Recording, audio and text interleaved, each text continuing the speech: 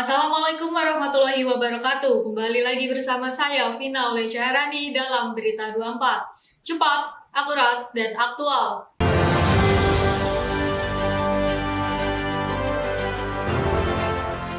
Koordinator Tim Pakar dan Juru Bicara Pemerintah untuk Penanganan COVID-19 Wiku Adhisa Smito mengatakan anak berusia di bawah 12 tahun telah diizinkan untuk melakukan perjalanan dengan moda transportasi udara.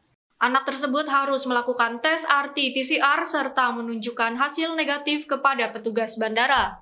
Orang tua juga harus mendampingi dan memastikan anak yang dibawa untuk terbang tersebut dalam kondisi sehat. Aturan tersebut bertujuan untuk mencegah lonjakan penularan meski situasi pandemi telah melandai.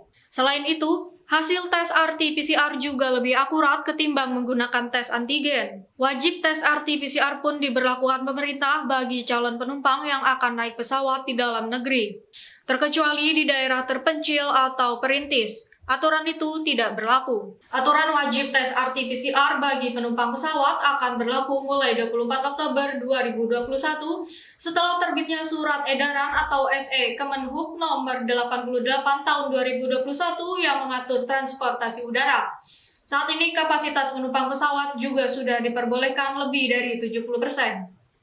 Sekian berita yang saya sampaikan, saya Vinola Lesyarani, mohon pamit undur diri.